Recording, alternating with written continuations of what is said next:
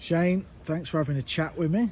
This is for the pool fans, seeing as you're one of the most famous pool players in the world. You've won two matches. How are you playing? I mean, I'm playing okay. Um, the only thing I got to work on is my break a little bit. You've got to work on your break?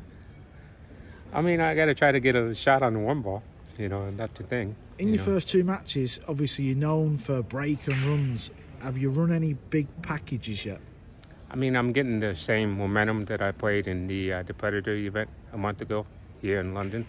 Um, just just going that feel, and um, you know, just trying to get a shot after the break is all it is. But uh, my percentage is pretty high. Yeah, and you know, like when you're playing winner breaks, obviously race to nine or race to 11 now it's going to be. Do you have something in your mind where you're trying to, like, are you thinking about running the set or is there a target where you constantly run a certain amount of racks? I need to put packages together. What's know. like a consistent package? consistent packages like when I won the U.S. Open is you know four to five, Four to five? and that'll put more pressure on my opponent, Okay. and that that's the plan for every match.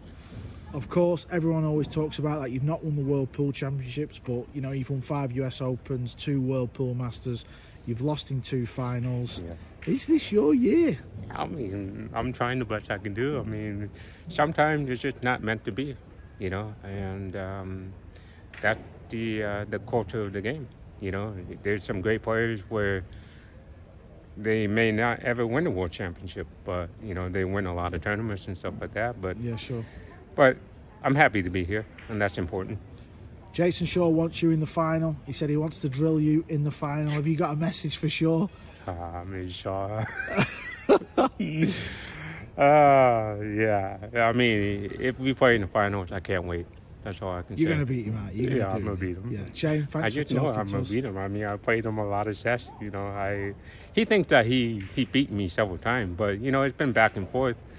But Who's got the head-to-head? You? I got the head to head in the long race Yeah.